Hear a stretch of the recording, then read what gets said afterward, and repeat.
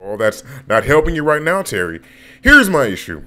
The bigger issue I have with the Terry Crews and Gabrielle Union and America's Got Talent debacle.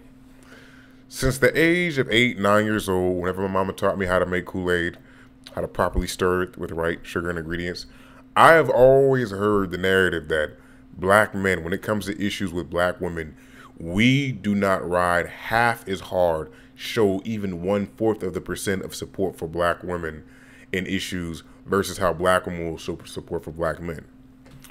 And I've always argued against that. I've always defended my black brothers, even though they have been very, you know, we've had some ups and downs.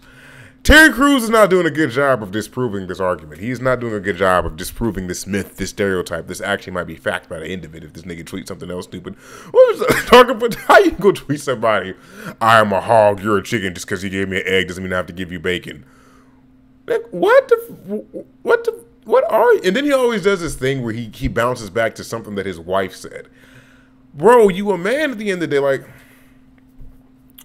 my opinion about that is I feel like he could have expressed, I feel like he could have expressed his own opinions of his experience at America's Got Talent without bringing Gabrielle Union's name up or in it. If her name would have came up, I would have just said, "Hey, he." I think he kind of did say more or less, you know, that's to her own experience. I would have, I would have just said my experience is different. She could have dealt with different people to me. Maybe something else happened that I don't know about. Because from what I've seen, I love Gabrielle Union. Gabrielle Union has always been a horn blower for just issues in the black community, issues that affect black men, black women, etc., especially in the Hollywood community. And how I look at it is, I have never seen her be a hornblower for some shit that was some bullshit.